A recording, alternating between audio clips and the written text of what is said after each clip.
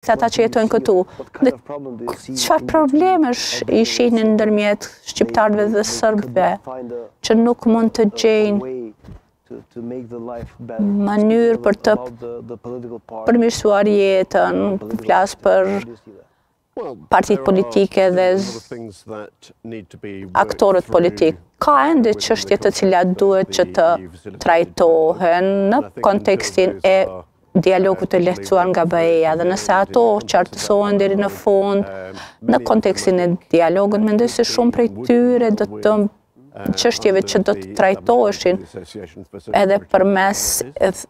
themelimit të asociacionit të komunave me shumicë serbe, mendoj se kjo do të ishte mënyra më e mirë që shumë çështje të vështira për të cilat Do të sigurohej kush është përgjegjës dhe do të ofronin shërbimet dhe ato sigurime atë sigurinë që qytetarët këtu më duket që e konsiderojnë si më të rëndësishmen dhe më të